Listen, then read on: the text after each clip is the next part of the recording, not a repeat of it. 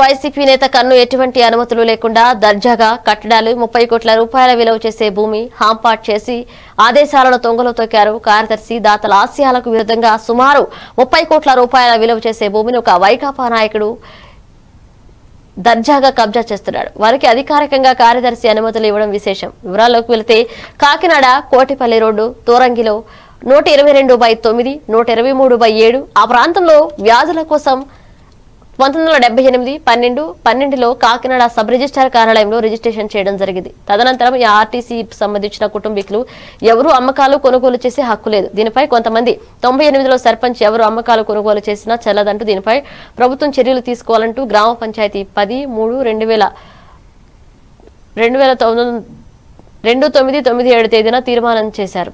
November ముప్పై లో చేయడం జరిగిందని. దానిపై ఆనాటి పంచాయతీ కార్యదర్శి చర్యలు తీసుకోవాలంటూ జిల్లా కలెక్టర్ ఒక లేఖ రాయడం జరిగింది.